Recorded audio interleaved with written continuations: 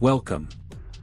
In this video we will talk about code P0716, its symptoms, causes and possible solutions. The P0716 trouble code indicates a problem with the input or turbine speed sensor a circuit's range or performance. This sensor measures the rotational speed of the input or turbine shaft inside the transmission and sends this data to the engine control module, ECM, or transmission control module, TCM. The ECM or TCM uses this information to control various transmission functions such as shifting points and torque converter lockup. Code symptoms P0716 1. Check engine light, CL, illuminated on the dashboard. 2. Erratic shifting behavior, including delayed or harsh shifts. 3. Transmission slipping or overheating. 4 inaccurate speedometer readings or speedometer failure.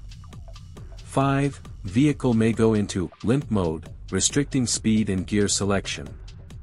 6. Loss of fuel efficiency. 7. Transmission may stay in one gear or fail to shift at all. Causes of the code P0716 1. Faulty input or turbine speed sensor. 2 damaged or frayed wiring harness leading to the sensor. 3. Loose or corroded electrical connectors in the sensor circuit. 4. Poor electrical connections or intermittent short circuits in the sensor circuit. 5. Incorrect transmission fluid level or type. 6. Internal transmission problems. Code Solutions P0716 1. Inspect the wiring harness and connectors in the input or turbine speed sensor circuit for any signs of damage, looseness, or corrosion. Repair or replace damaged components and ensure tight connections. 2. Test the input or turbine speed sensor for proper operation using a multimeter or scan tool. Replace the sensor if it is found to be faulty. 3. Check the transmission fluid level and condition. Top up or replace the fluid if necessary, using the correct type specified by the manufacturer. 4.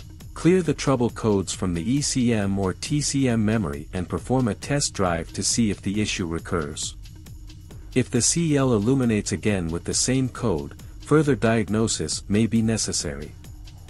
5. Monitor the sensor circuit while the vehicle is running to identify any intermittent issues.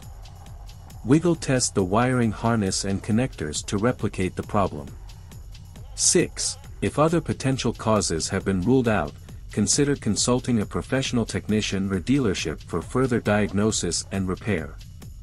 They may need to perform more advanced diagnostics using specialized tools. Thank you for watching this video, don't forget to leave a like and a comment, see you next time.